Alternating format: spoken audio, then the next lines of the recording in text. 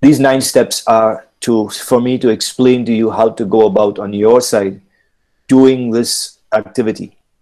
Now, the, the whole activity, uh, when, you, when we practice for an IA, we look to spend about six to 10 hours of work collecting data on it. So the idea that I want you to do a number of trials is it's an expectation. Six, 10 hours is the amount of work time that you are supposed to put in for an IA. For a practice IA, um, this last one especially, we if you guys spend five hours, okay, that's great. So what you want to do is to get a piece of banana. You don't even need a whole banana for a trial. Just a, just a bit and you grind it up. So this here is just showing you the grinding. You get something to mix and to grind. And if you have already a mechanical device that can do that, then you could take an entire banana, liquefy it completely, right? In your blender or your mixie or whatever you call it. And you filter that here like so. So you get a banana smoothie or you, you get something very much liquefied. And that thing that's liquefied is an extract. It contains the enzyme catechol oxidase. It contains the substrate catechol, which when catechol, which is the chemical, the substrate, catechol oxidase the enzyme, when they're both exposed to air and the tissue has been squished, which it certainly has been, browning is going to follow naturally. The rate of browning, of course, is going to be different depending upon the temperature. Okay? People don't like their bananas to get brown, of course. Bananas get brown for a reason, but people don't like the browning. So refrigeration, of course, is a way to possibly reduce that rate of browning. We are going to find out and get some data on to what extent does the refrigeration compared to the non-refrigeration affect the enzymatic browning of, of um, banana tissues, Musa SP. So we prepare our two samples, we get our camera, take a photo of each one, controlling variables, of course. I put here controlled. What do you mean by controlled? Your camera has got to be in the same place for each one, the same distance, and then the the RGB reading from the color meter app, which is something that I have on my, right now I have it here on my Mac mini desktop, and I also have it on my Mac laptop. All devices um, will have something that they can use for red, green, blue photo analysis. Do some searching on your site, please, and see if you can access this quantitative tool that that researchers have been using. It's not just me. It's not just the people at U University of Southern California in, in their chemistry course. Others have been using this tool for the last five, six years um, very successfully to write some serious uh, research papers in biochemistry. So see what you can get for doing your photo analysis. Then we don't want this to go inside the fridge for like three days or two days or one day even because think about it you guys are doing an enzyme catalyzed reaction, right? Enzymes just speed up reactions. They don't make the reaction happen. So you are really trying to slow down one of the reactions by putting it in the cold temperature and leave the, the other one to happen as, as, as normal. If you leave it for long enough, though, they would both get to the end. They would both get to completion. They would both get as dark as possible. So you don't want to leave it for too long because then the cold one is going to start catching up with the warm one. So you just want to see that effect initially. How fast is browning going to happen over, let's say, 45 minutes? And if you are getting a big difference before 45 minutes, then you could go less than 45 minutes. But within 45 minutes, you should get a lot of browning and, and with this one on the outside compared to the fridge. Remember, the more concentrated that you make your extract, the more browning you are going to get because you'll have more substrate and you'll have more enzyme, right? Adding water is just a dilution, like we just mentioned in the lesson. Adding water is just diluting the whole system. If you keep it concentrated every time, then you would have um, uh, more enzyme, more substrate, more color change, and, and then better analysis. Okay, so then pre your prior analysis and your post analysis of photo, then you would get a change in, and you don't have to do all three colors. A change in the red, it might be the most likely one to go with. How does the red change for this one and for this one? And you do that 10 times, getting the, the color change for each of the trials, finding the average color change for the fridge and for the outside of the fridge, 10 trials, then each answer for the 10 trials could be compared to the other answer to see if there's a statistical difference in the rate of browning. That statistical difference is going to be by applying the t-test. The t-test won't be valid though unless unless you um, have 10 trials.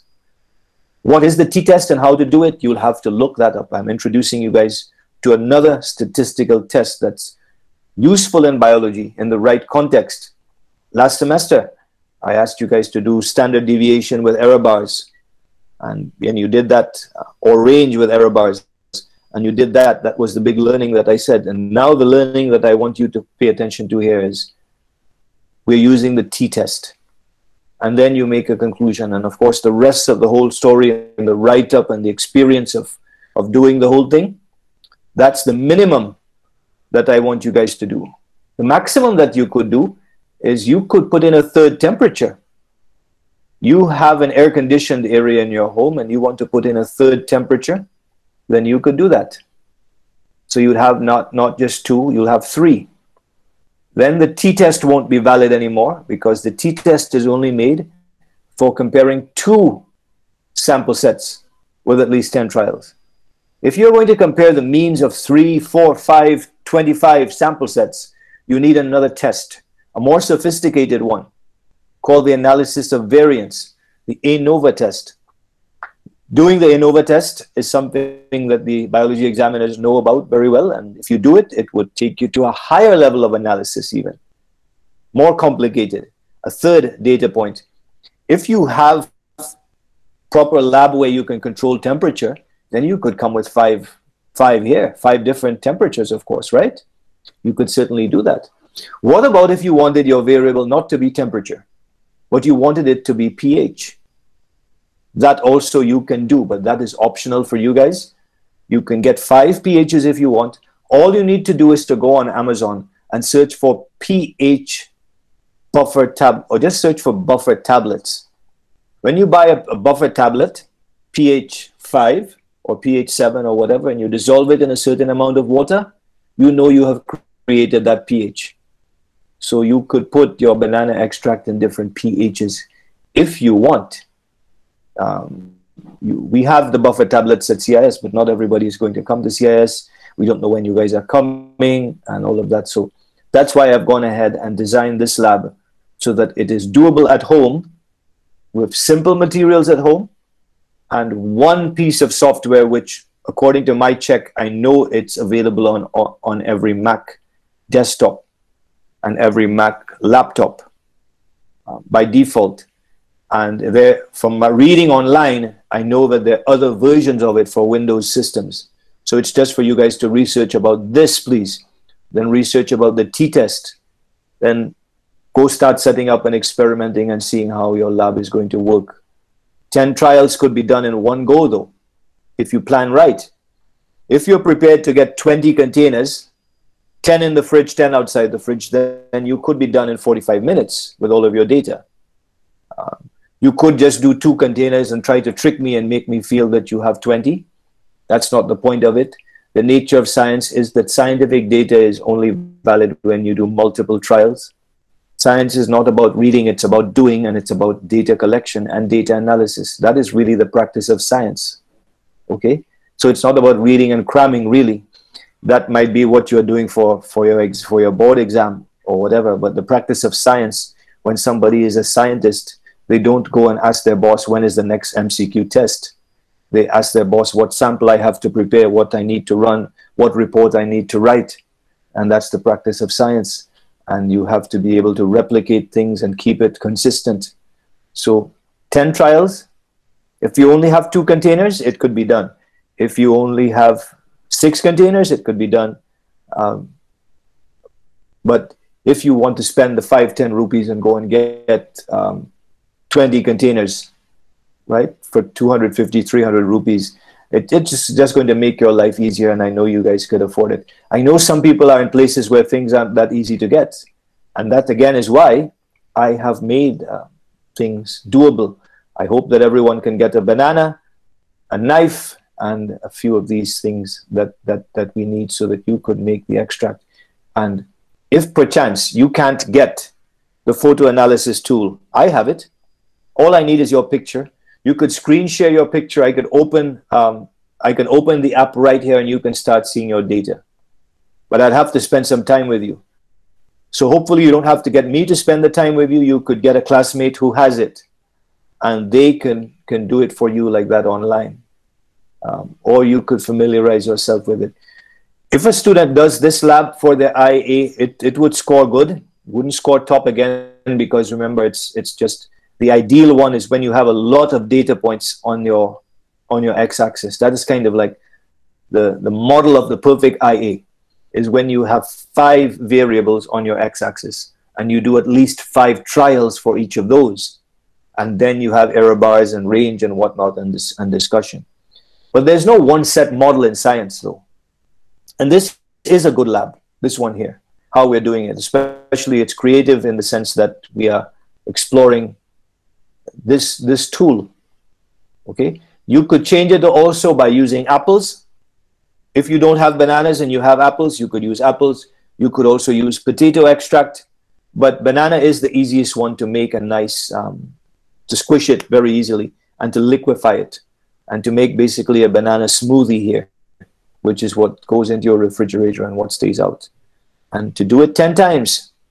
I really want people to do it 10 times, you guys, because um, that's important. Accurate quantitative measurements, right? So we can't only be saying, look at look at the color change. You see it got darker. Can't you see? That's not a strong way of collecting data in science.